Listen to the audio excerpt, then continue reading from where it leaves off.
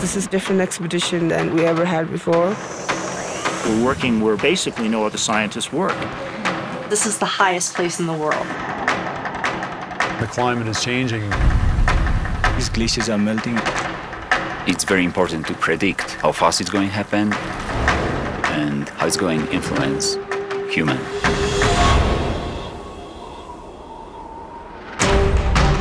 Mount Everest is part of the Himalayas.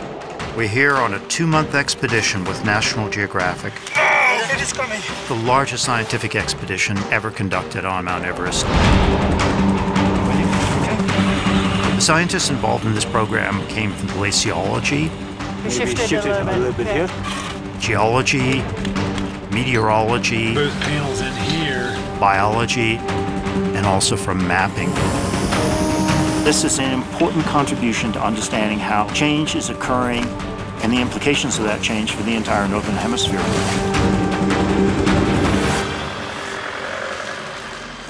The ultimate goal of this project is to turn the science into something that has value for the people.